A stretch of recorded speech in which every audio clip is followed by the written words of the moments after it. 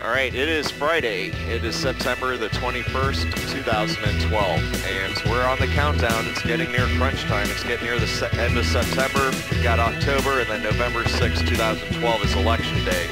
And what are you going to do? Are you going to not vote as a protest and uh, hope that uh, that sends a message? Uh, I mean, that's what's been going on for the last um, 20 and 30 years. Half the people don't vote. Um, so all these candidates that get elected, you know, they don't feel any shame. And I don't think they would even if there's a 1% turnout. Um, uh, and there won't ever be like 100% non-turnout because the candidate can actually vote for themselves. And I'm sure at least their mother would vote for them or something like that. So, so they would still win with one vote. And believe me, they would take every advantage of it. So instead of just not voting, how about not voting for the Republicans and Democrats? I'm all with you if that's what your plan is. And we do have alternate legitimate choices. I'm not talking about people that, you know, that are like communists or Nazis or whatever. We're talking about real constitutional Americans that are better than the Republicans and Democrats. I mean, it's a better choice that you can choose that you might not have known existed. I mean,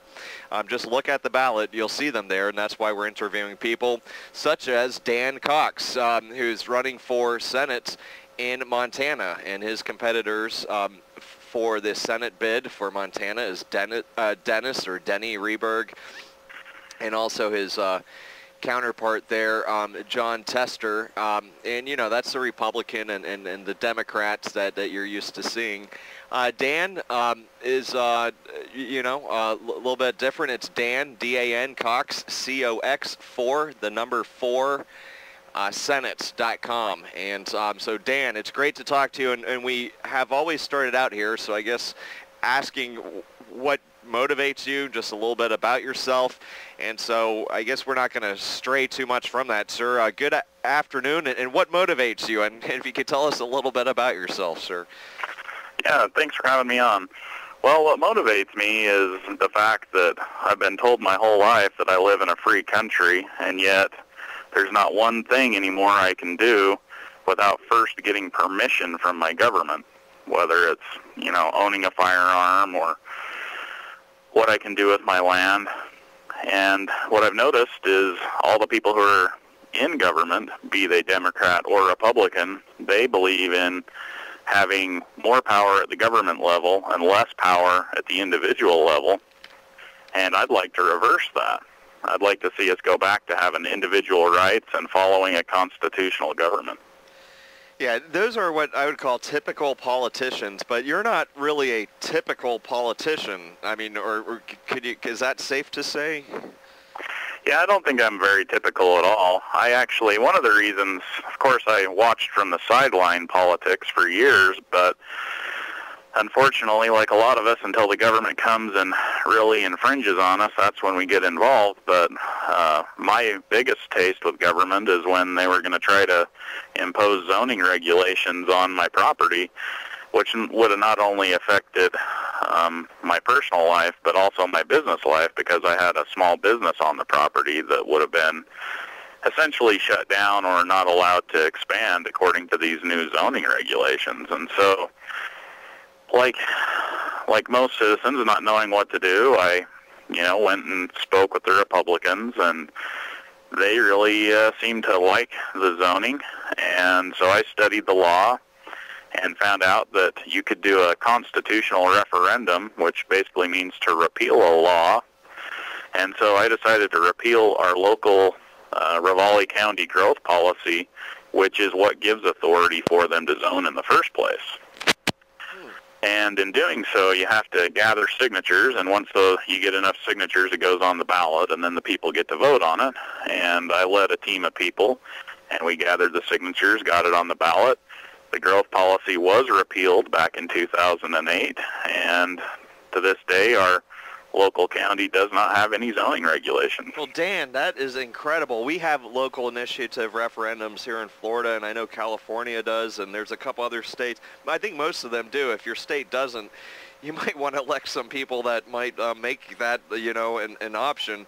Um, yeah, it's great. It's kind of like a fourth branch of government. Dan, congratulations. That is so wonderful that, that you gathered that, you know, brought that kind of organization to do that.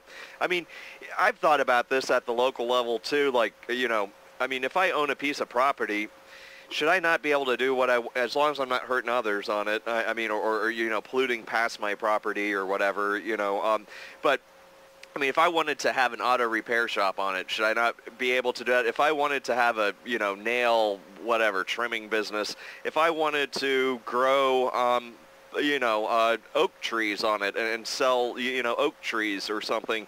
I mean, should I, should any of those, should I be able to do whatever I want on my property as long as I'm not hurting others? I mean, I, I agree. I agree with that 100%. There's really only one instance, in my opinion, where you would be precluded, of course, um, other than hurting other people's life, liberty, or property, and that would be if you bought into a covenanted property. And covenants are voluntary, and so that's certainly something you can contract. Like if you would like to live in a neighborhood that has certain rules, right, right. You, that's true. You, I agree with you there. Yes. Right. Then you can voluntarily opt into it. But from my opinion, if you buy a non-covenant covenanted property, and then the government comes and changes the rules.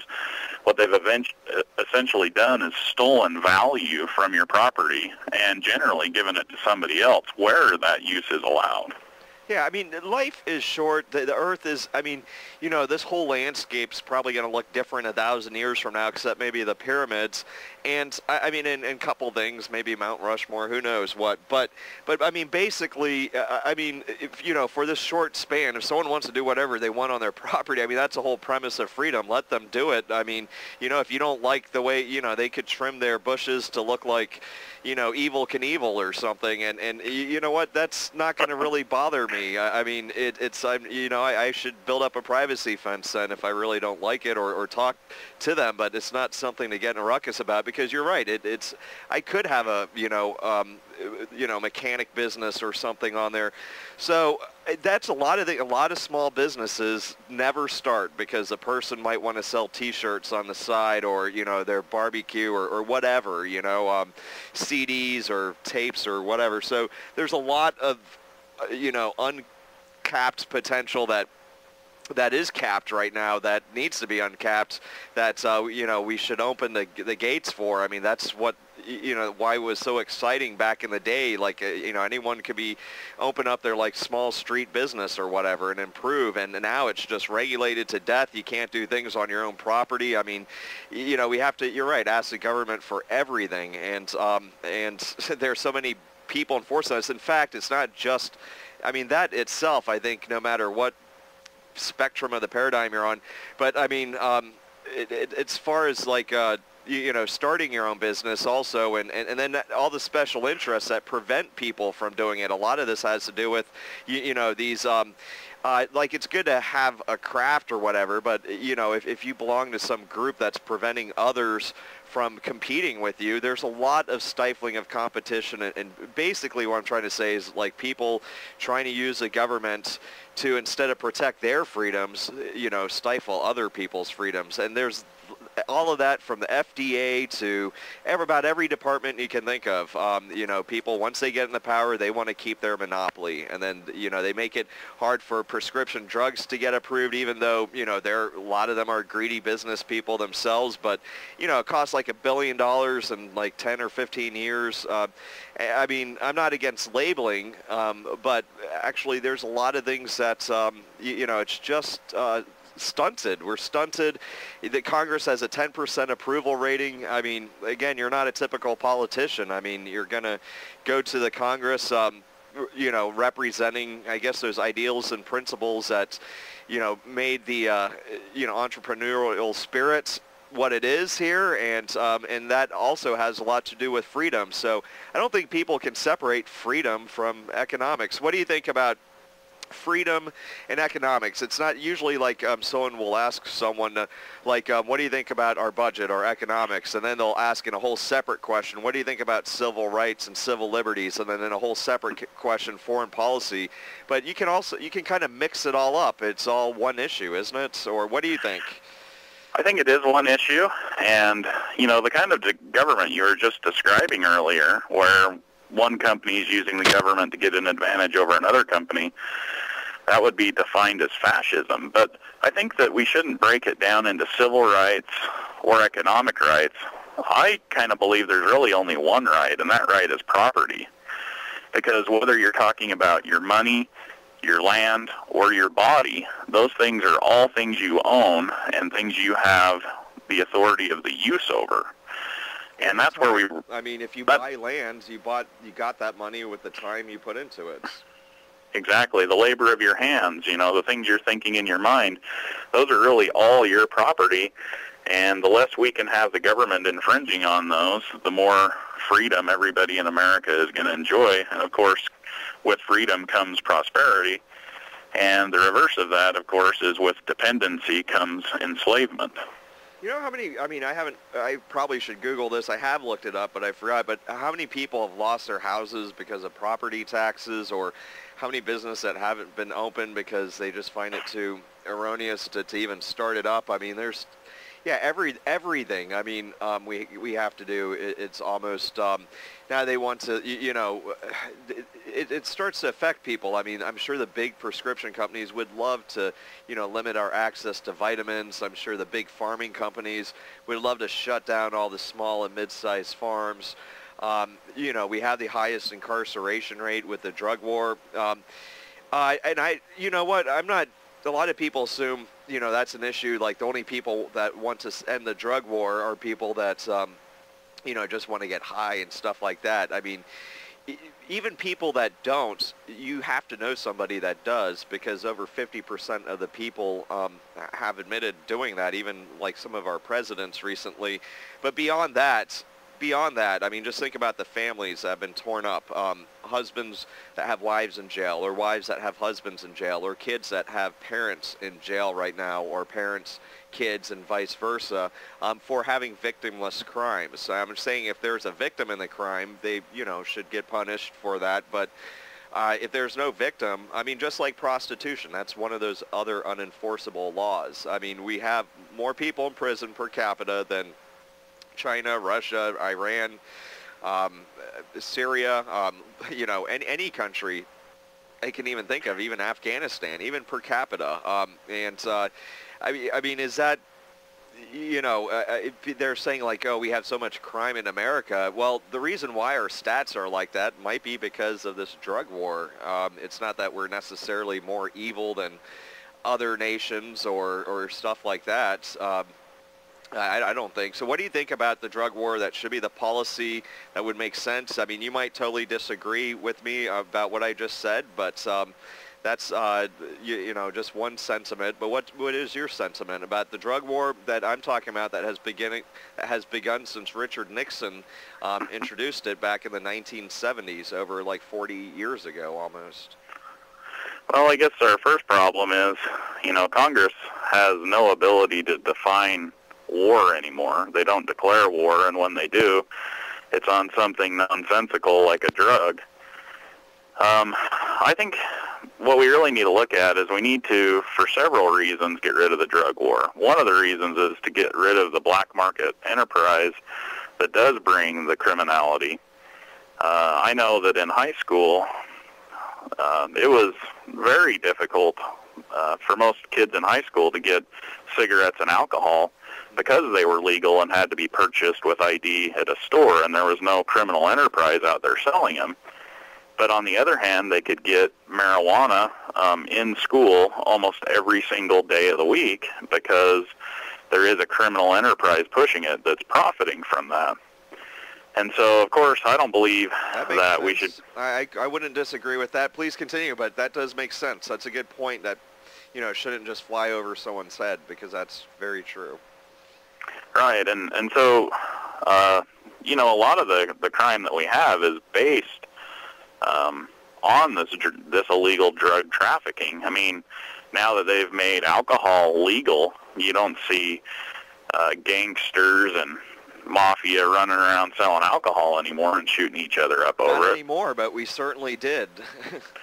yeah, but we did during Prohibition, and and we are now, you know, with these other with these other drugs. Um, of course, I think you know some of the um, illegal alien problems have to do with the same concept because you know there's going to be a certain amount of people from other countries who are going to, you know, come back and forth over the border selling those illegal substances at high profits, especially when, you know, their country is going to be more lenient on them growing it. And so I think if we uh, got rid of, you know, the war on drugs, and then the other part of that is, is it's not constitutional. I mean, going back to prohibition, we all have to realize that there are only certain powers enumerated to the federal government, which are in Article 1, Section 8. And because there was no power to prohibit alcohol, we had to have a constitutional amendment to prohibit the alcohol. At so, least they did that, even though it was wrong, but at least they went through the constitutional process. Exactly. But it does just go to show you, though, that if they had no authority to prohibit alcohol, then they had no authority to prohibit marijuana. That's an and excellent so, point, too. Where do we get these powers in the federal government? Well, they don't exist. What they're doing is they're usurping the power of the Tenth Amendment. If a power did exist, it would certainly exist at the state level so or with point, the people. Because you're running as a libertarian, and, and a lot of people say, oh, you know, I agree with all the social aspects of libertarianism, but, and, and you know, they basically believe in anarchy. Well, let me ask you this. Who is a real anarchist? The one who does the constitutional process or the one who decides to ignore it? Well, exactly. The, the real definition of anarchy is no law. And what we have now is lawlessness. Yeah, it's lawlessness. I don't know if it's anarchy. It's more like criminality because we we have laws and they're ignored by our government so that's not anarchy. It's more like a criminal government that's now um, taken the place of our constitutional government. And and what all? Uh, can, I mean, it's really easy for people to make the difference. I mean, a lot. I think a lot of people realize that they've just. I don't know, are apathetic or, or something. They just don't believe it can be done. I mean, half the people don't even vote. Um, Congress has a 10% approval rating. I mean, just when you're looking at that balance, I mean, you know, please, please. I mean, for especially for us who've never voted for a Republican or Democrat, please, like, stop making us, you know, suffer like this. I mean, select something different. Um, stop making yourself suffer. I mean, imagine, like, just the. Uh, the world we would live in. I mean, if, if we just ended the drug war, like you said, like a lot, we would put a lot of these criminal organizations, uh, if not totally out of business, we would definitely hurt their um, th- th- their business, um, their you know black market business, um, and uh, and there'd be a lot of people that would be freed and families that would be reunited. Um, uh, uh, you know, and if they still committed crimes while on drugs, I mean, they would still get prosecuted for those crimes, and then we could have the police, um, you, you, know, uh, focused on you know real crimes. Well, exactly. I I think you know it's it's unfortunate that we kind of have the apathy in America that we do. I think that what's happening is I think there's a certain um, level of fear that the people in America have with their government, and what they're trying to do is try to just stay below the radar and not get trapped up, you know, in all of these statutory laws that aren't really constitutional. Well, look at the IRS. People fear. I know people have a fear of the IRS. Oh, absolutely. And but you know, once again, where is the constitutional authority for the IRS? I mean, they're basically the police force for the Federal Reserve Bank, which is a private corporation. It's not even part of our government. Yeah, and we don't. I mean, and that's another thing, Dan. I, when I ask about is uh, transparency. Um, and, and, you know, I'm saying all these stats. I, I read, you know, the the paper a lot. I, I do a lot of research. I listen to C-SPAN a lot. I, I read books from whistleblowers or people that are ex-government that have spoken out that you know have um, a lot of uh, you know degrees and stuff like that. So I, I, I know what they share with me, but I mean honestly, a lot of stuff I sometimes could say could be mistaken. It's because I don't know all the facts, and and and a government that isn't open is um, one that is encouraging people coming to uh, certain conclusions. I mean, I'm just coming to these conclusions because um, there really is no other choice. Um, I, I, mean, do, do, you think we'd be a st- stronger government, um, you know, that's a more open source government? Well, I think I think that is our problem. You know, it's a trust issue. I mean, we've gotten to the point now that our government's lied to us so many times that how can we believe them? You know, it's kind of a cry wolf scenario. I mean, how many wars have we been involved in? Well, not even constitutional wars, I guess police actions, but we've been involved in these things on on lies like weapons even, of I mean, some people, eh, I mean, if you were to watch the news right now, or you might not even know that we are in a war. I mean, the media doesn't let people know that there is a third candidate. I mean, the way people are going about their business nowadays, like we we were almost unaware that we have a lot of people doing like eight, six tours or whatever, and, and we're in two, we're like in 130 countries. About six of them were actively engaging in combat. And uh, you know, I don't, I don't, I think a lot of people don't even realize that we're even at war right now.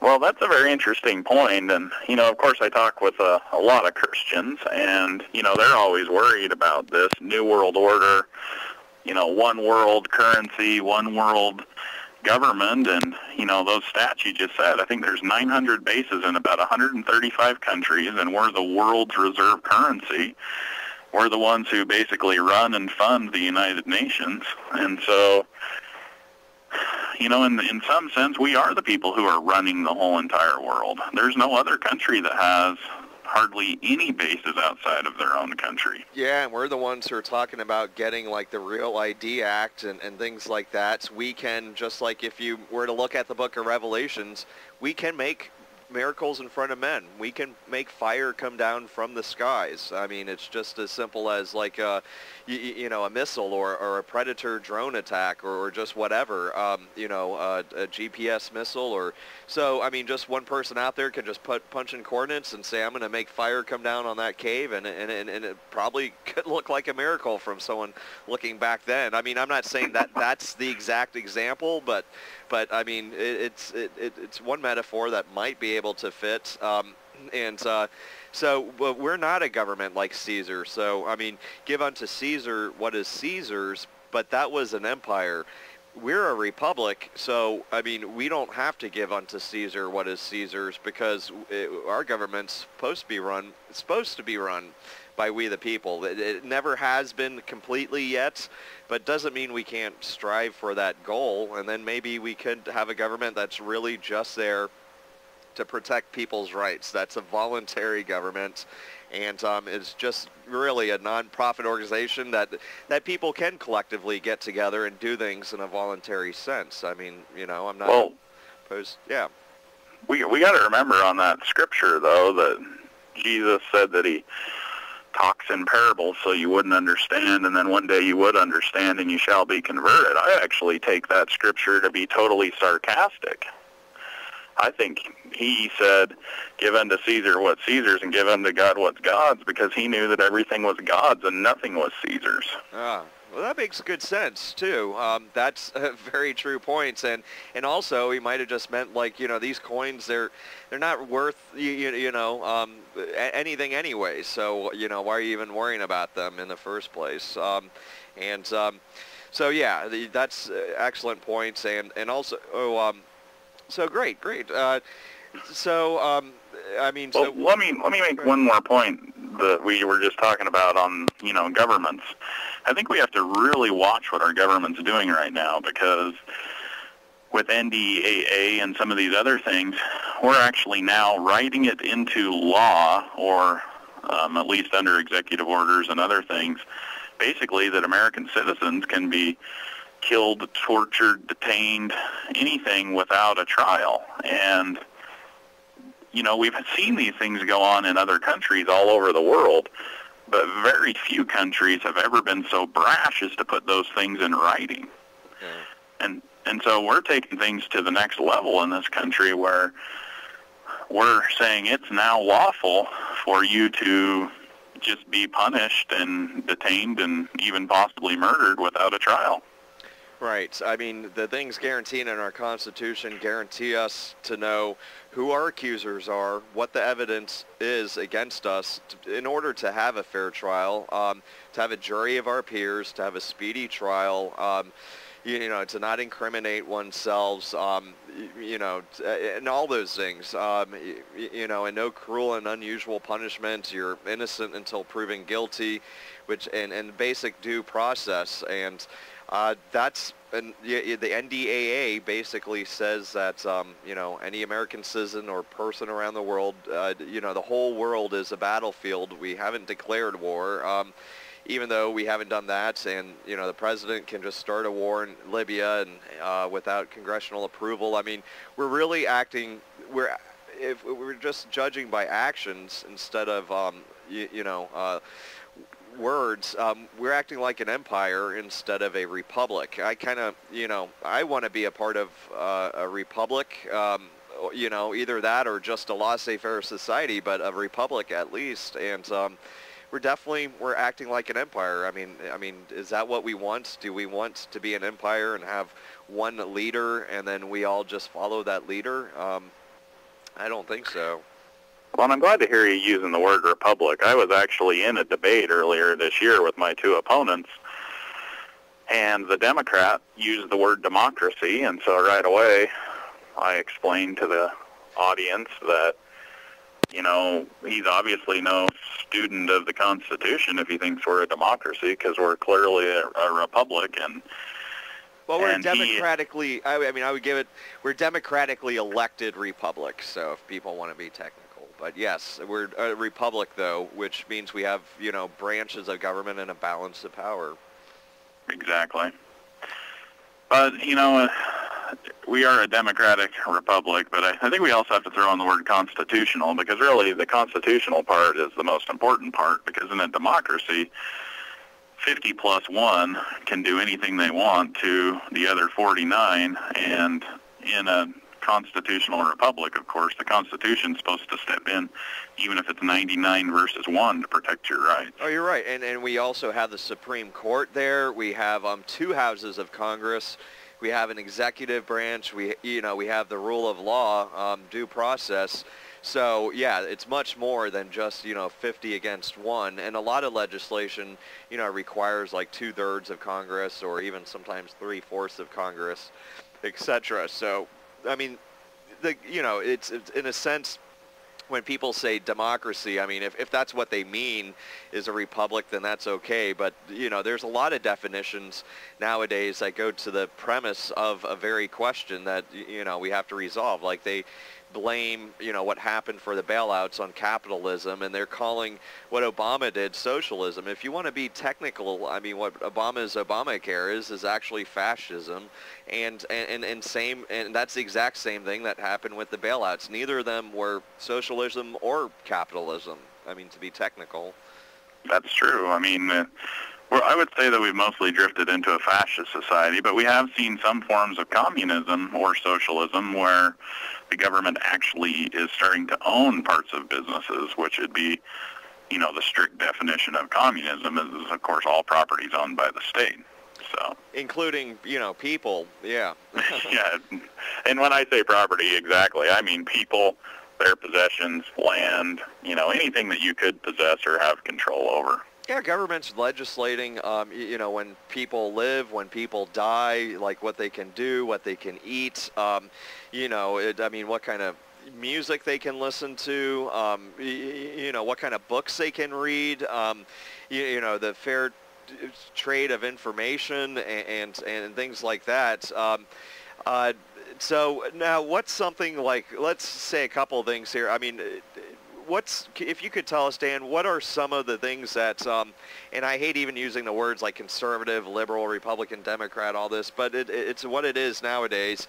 But to break through that a little bit, if you could tell something to the Republicans that might be disgruntled and also something to disgruntled Democrats why they should vote for you as the best choice in the current condition that we're in right now and why you would be the best representative possibly for, you know, either a Republican or Democrat, people who still consider themselves one of those two.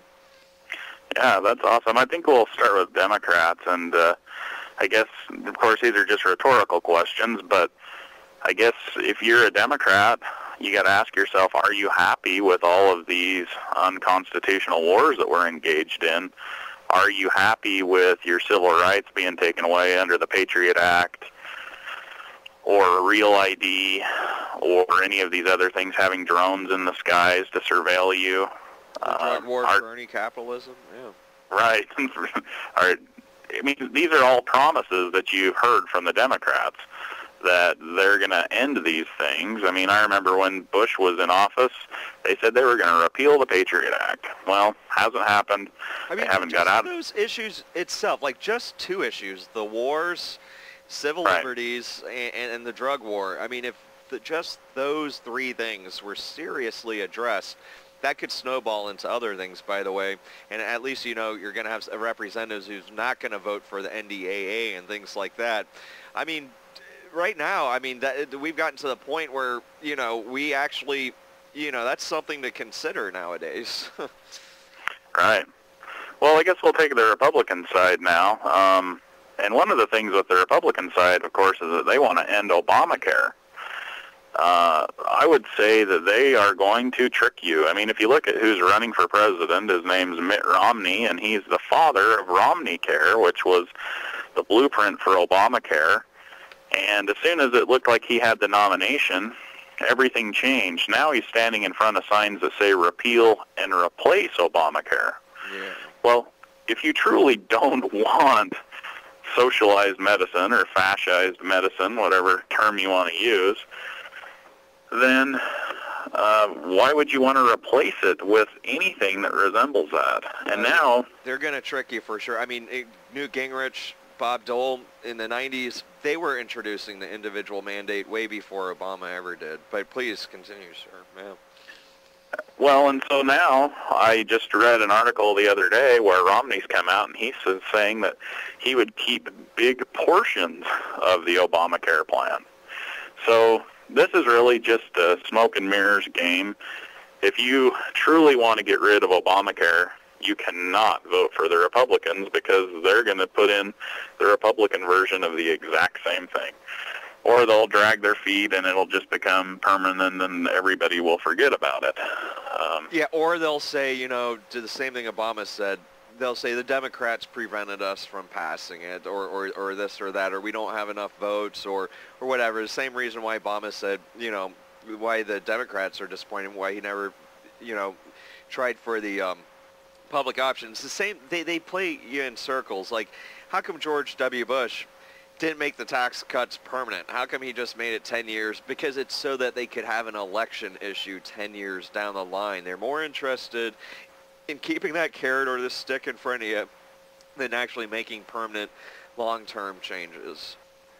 Well, exactly. And on the issue of taxes, I mean, I think if we could go back to constitutional money and get rid of the Federal Reserve Ponzi scheme, then most of our taxation could be completely and entirely eliminated. And from from that spot, of course, the libertarian premise is the government really can't give you anything it didn't steal from somebody else first. And so one thing that Republicans would be super happy with me is, of course, the level of taxation they would see, but not only that, um, the level of subsidization, because I don't believe in any of it. Of course, at this moment, we're so underwater with people being dependent on government that we have to have a strong plan to to you know get people off of the dependency of government. But So what did, I you mean, know, you want to get complete rid of the income tax. I mean, now if you're like the corporation for Nike, Apple, or any big business, small business, mid-sized business, I mean, you should just ditch the Republicans and go with this. I mean, I don't see how any business couldn't see that in their best interest, just getting rid of the corporate income tax, the income tax. I mean, I mean, imagine having that on our, you, you know, uh, front post of our country. Welcome to the only country in the world where there is no income tax. I mean, we would have an immigration problem of businesses coming over here. I mean, we really would. I mean, I know that might sound funny, but it's serious. I mean, there, if we were, we would be the only industrialized country, I, I would rather say, that doesn't have an income tax. And Ron Paul so pointed out, like when he was running in 2008, and this was four years ago, so the numbers might be a little different now.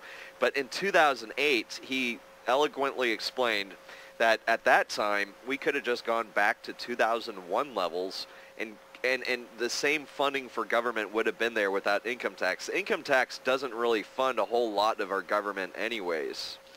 Well, maybe we should go over that just real quick. Uh, I believe the numbers this year is there's going to be about 3.8 trillion spent and only 1.1 trillion brought in in income tax.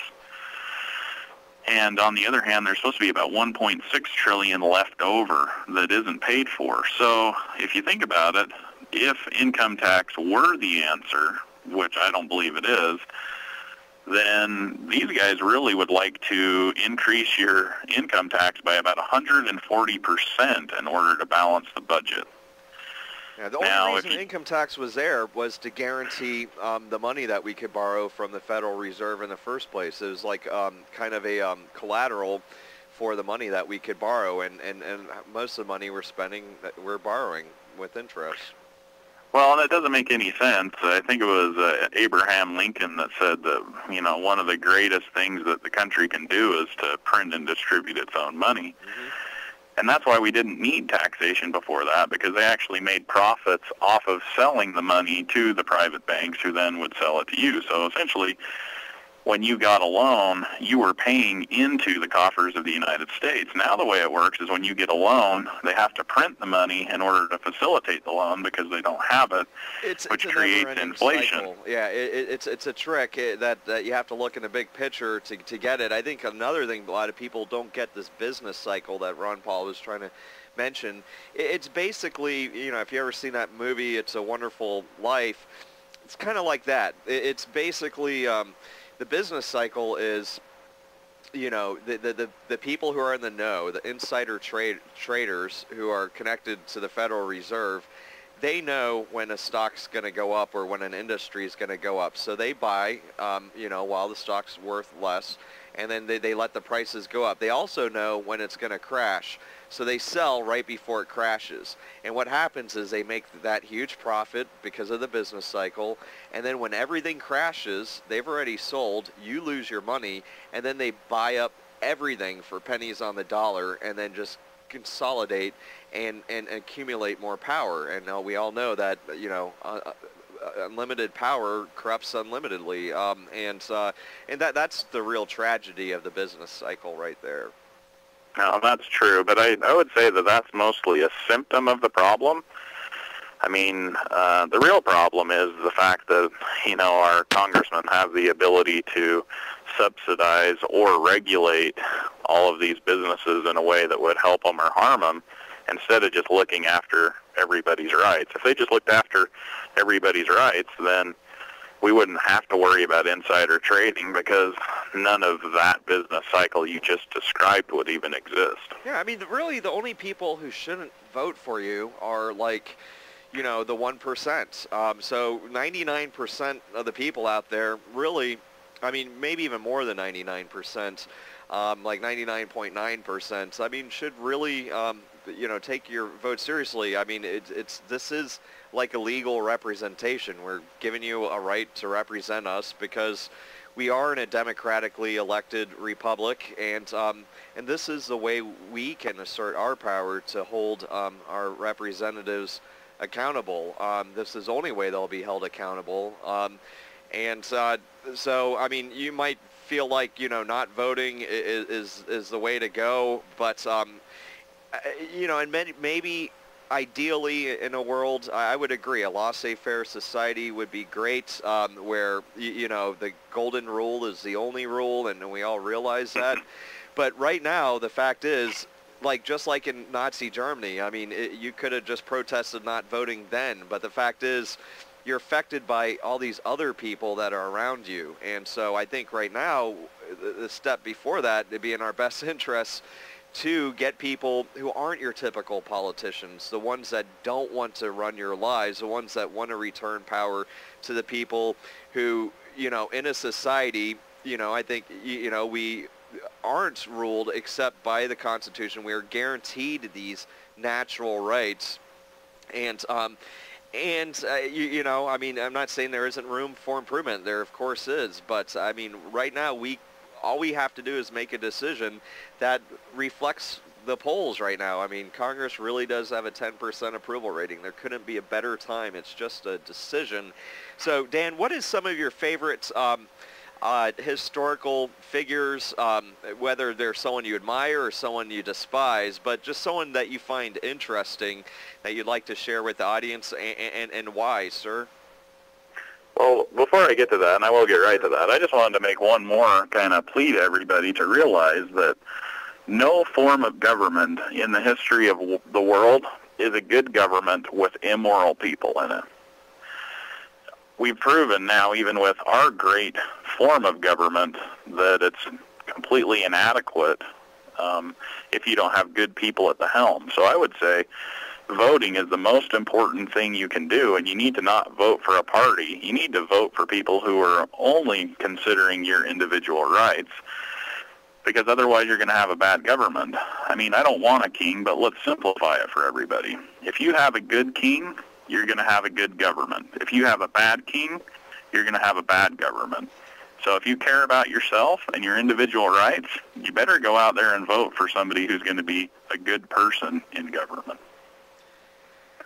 Yeah, so it, you could just, I mean, unless if you just want to be that sacrificial lamb in, in protest, you, you, you know, I, I, mean, you know, you can keep saying, you know, I'm, I'm protesting, I'm not voting for you, I, I'm not um, part of this society at the same time, you, you know, being trampled right over. Um, I mean, we don't have to be like that. So we can assert ourselves and, and vote for someone. If, if someone is in there that actually represents how we feel, then um, you know I think that's a step ahead. Uh, and so don't vote for a Republican or a Democrats.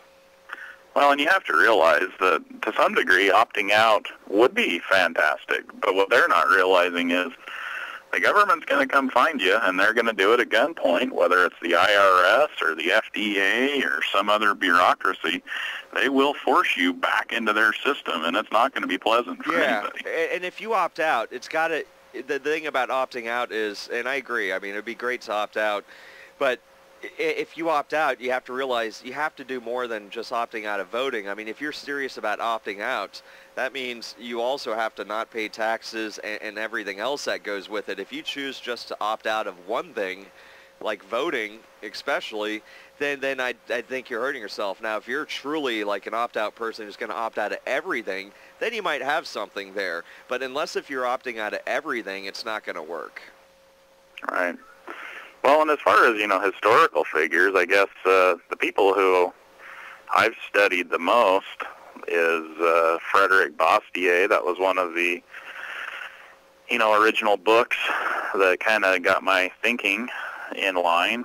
Uh, the law, and of course his talks about legal plunder and all those things, which are, you know, and he explains property and and all the necessities of it and and what is just in property, and so I would recommend that to everybody. And then of course Thomas Jefferson, uh, who, although may not have been a perfect president, but as far as you know, the the things he wrote and the way he thought I think we can learn a ton from him, more than almost any other president. I mean, if I'm looking for presidential quotes, nine times out of ten, I'm going to use a Thomas Jefferson quote because he's got a quote for almost everything that I've ever uh, pondered. No, that's very, very true. I mean, I don't agree that, you know, I wish he wouldn't have had slaves, um, you know, to be right. quite honest. But you know what? As far as his principles go, um, as far as what he was able to, uh, you know, um, express, um, those principles, whether, you know, it, it, it's more than the man. It's about the principles that, that can live forever. I mean, um, so these, yeah, you're absolutely right. He was a great thinker. Um, you know, he also died in debt, um, you know, and, and a couple other things he did. But but he did he, he was a civil libertarian and, and he at least knew the principles about it and were able to express it. And so it doesn't take that part away and it doesn't mean it, it makes any of those points any less valid at all whatsoever. So um, well, well i think you've got to take it kind of like christianity for example. I mean if you're looking for a church according to a perfect pastor, of course you're never going to find it. What you got to look for is perfect principle, and and so that's what I'm basically saying is that you know the the things he taught, although he wasn't a perfect man himself at all, the things he taught were were really sound principle from from what I've seen, and so. Uh, and you know, like Ron Paul's always said, this isn't about him. It's about the liberty movement and the principle. He's not really the person who's famous. It's just he's kind of just the the guy who brings the message, which makes him popular. But he's not popular. The message is what's popular. Yeah, I mean, people found a way, like people were using him. I mean, in a good way. Um, to be the uh, the vessel in, in which um, for freedom could be expressed. I mean, freedom and, and the truth, um, the truth found the path of least resistance at that time through Ron Paul. And now imagine having a couple more Ron Pauls, I guess I could say, in, in, the Congress. I mean, because he's not going to be there next year, and we're also losing Dennis Kucinich and a couple other people. So I think it, it's it's even more urgent now that we, you know we have some people to take their place that will stand up against you know undeclared wars and uh, unnecessary ones against um, civil liberties infractions. I mean, it's going to be very important. I, I hope we get, can get about 50, and I don't see any reason. I don't see any con. I'm looking at pros and cons. I, I can't see if any con, um, you, you know. Uh, as uh, selecting you um, based on what you're standing on. And is there anything that I forgot to mention, Dan, that that's um, that uh, you know we haven't gone over that you'd like to bring up, sir? Well, I think I think what people need to really understand is that in this Senate race that I'm running, there actually is quite a bit of hope. Um, you know, the first poll just barely came out, and in that poll, I'm running at eight percent which may sound kind of low, but if you realize in a three-party race, you can actually win with just over 33 and a third, then I'm not that far off. My opponents have spent, I don't know, somewhere around $12 million. I've hardly spent any money. I'm getting into debates. I've been on the radio shows.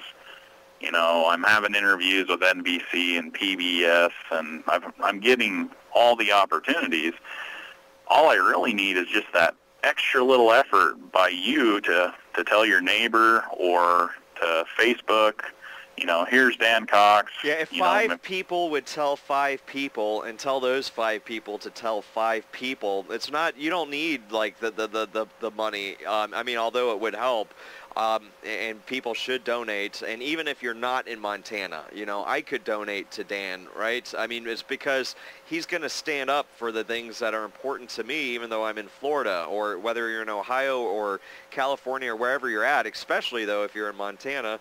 I, I mean, it, it, it's um, just like I was a fan of Ron Paul, who is in Texas. Um, and so, yeah, five people could just tell five people that could tell five people. And, and uh, I mean, just weigh out the pros and cons, basically. Yeah, I mean, make a YouTube video, promote me. I mean, do anything. It doesn't take a lot. It, in fact, if there's a lot of people doing a little bit, I mean, we we could do this thing really easy. Um, you know, from a candidate standpoint, uh, you know, a lot of the time, you know, candidates are doing a lot of the work. You know, if if you want to rep- someone to represent you, uh, really you need to engage in the system and you need to go find these people that you want to represent you and you need to do your little part to get that representative into office. Yeah, it's not about them. I mean, although I think Dan, you know, I would love to see it in there. It, it's about the people. Use these candidates, like propel them. Just kind of like if you're watching football, if the running back has a ball, imagine that offensive line pushing that running back forward. I mean, whether the running back likes it or not. I mean, uh, you know, just let's be that offensive line. Let's us determine it. Let's, you know, take advantage of these um, candidates who put themselves in these positions, and let's take advantage of that. Let's help push them. You know, even if it you, you, know, Dan, I hate this, but even if you, you know, get, you, you, you, know, hurt going through, I mean, at least you'll get through and you'll have congressional health care because we need to get these people through there. We need to propel them across that um, end goal and um, end zone. And um, so, I, I, mean, and I'm sure you would want us to, to, to push you across, you know, um, I mean, because, I mean, this is, and uh, so you know I, I have great respect for you you know be, and hopefully you're going to be there at the right time right place to, to, to, to, to be advantage of this because 2012 I don't think there could be a better year so far because of the low congressional approval ratings and, and all the mistakes, you know, from the bailouts. I mean, that's the bailouts were the reason for the Tea Party. They were the reason for the Occupy Wall Street. And I would say this has been brewing up since Ross Perot in 1992. It's just that, you know, the fervor kind of died down a little bit. And like you said, probably a lot of people are scared nowadays because of things like the Patriot Act and the NDAA. So let's vote. Let's, um, assert ourselves and uh, and you know take back our government, make it filled the halls of Congress filled with people that aren't typical politicians. And you know what? If this wave of people that we could get our third parties or independents don't do the job, we will look for new people in 2014 and beyond. But I mean, right. we at least need, you know, some kind of breathing room, at least some kind of something that says, you know, we're taking um, things back in control, and this is a start, and this is something that would not be able to be ignored. I mean, this would get worldwide attention if there was like 50 plus independents and uh, third-party people elected. Um, and um, so when, uh, real quick, Dan, I, I appreciate your time here. And when, when's your next debates, and when can people next see you, you know, on, on a debate? Well, there's going to be a, a, poll released on Sunday, and assuming I get more than 5% in that poll, uh, my next debate will be, I believe, August 8th in Billings. And you uh, should so be able to see it. October 8th, right? Uh, yeah, I'm sorry, October 8th. And then I'm already confirmed to be in a debate in Kalispell, October 14th. And Bozeman, which would be October 20th, is still up in the air. They're... Um, well, trying what, to push for 10%. going to be on, and um, and what station should people call to uh, you, you know um, express their opinions that they want to be able to make a fully informed choice, and the only way they can do that is to know all of their options. So what what you know TV stations or whatever would should people get in contact well, with? For the Billings debate, it's the Billings Gazette that's making the decision. So you know, that's who you need to call and say you want to see me in the debate. And like I say, I'm already in Kalispell. Um, and then for Bozeman, you need to call the Bozeman newspaper and, you know, ask for the same thing for me to be in the debate. They're pushing for a 10% poll margin, which I may very well get to. But, you know, the more demand there is, the more likely they are going to be to put me in there. I've already been in one big major debate, which you can actually watch on YouTube or on my website. Great, great. Um, well, I, I, mean, that that goes to the whole thing. How can we make fully informed decisions? We can't unless if we know all of our options, and and that's not just in these elections. That's in everyday life because our representatives. There's a lot of shadowy, secret things going on in government, and, and, and another benefit, whether you're a progressive, liberal, conservative, Republican, is Dan I, I would assume, Dan. I mean, Dan's going to share more information so we can all make more fully informed choices. I don't believe there's a Green Party candidate running for Senate in Montana, is there? There is not. There's actually only three uh, parties in Montana. Okay. At this time that have ballot access, and of course that's the two uh, Republicans and Democrats and Libertarians. And so, other than that, you'd have to be an independent, which you know, gathering the signatures for that's almost an impossibility. So Libertarian's really the only third-party choice right now in Montana. And so, I mean, if you are a third, you know, a Green Party person out there or whatever, it would be in your best interest. I've seen many fusion candidates in Delaware. There's a candidate running for Senate. He's a Green Party candidate. The Libertarian Party is endorsing him. Um, and I've seen in Texas, there's like a Libertarian running for Senate.